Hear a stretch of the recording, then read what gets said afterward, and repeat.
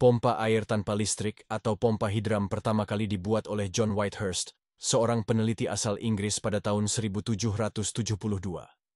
Pompa hidram buatan Whitehurst masih berupa hidram manual, di mana katup limbah masih digerakkan secara manual.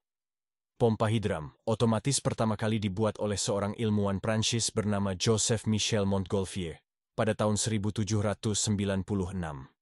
Desain pompa buatan Montgolfier sudah menggunakan dua buah katup buang dan katup hantar yang bergerak secara bergantian.